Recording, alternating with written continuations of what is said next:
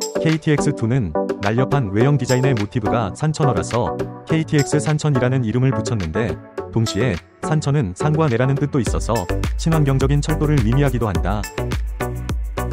산천어는 연어목 연어과 송어의 한 종류인 한국 토종 민물고기로 송어가 민물에 적응한 육봉형, 즉 원래는 바다에 살았지만 민물에 적응한 경우이다.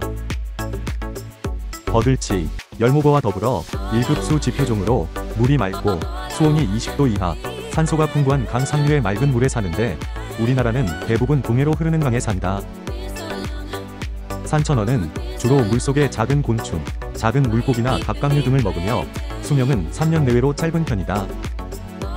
가이나 계곡의 산천어는 대부분 수컷인데 암컷 산천어만 바다로 갔다가 산란철이 되면 연어나 다른 송어처럼 강으로 돌아오기 때문이라고 한다.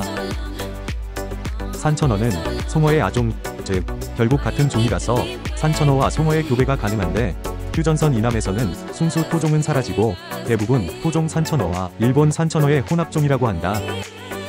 다 큰 산천어가 2, 30cm 정도인데 반해서 송어는 몸 길이가 60cm에 이르는 있는데 송어는 바다로 나가며 옆에 줄무늬가 없어지지만 산천어는 그대로 가지고 있다.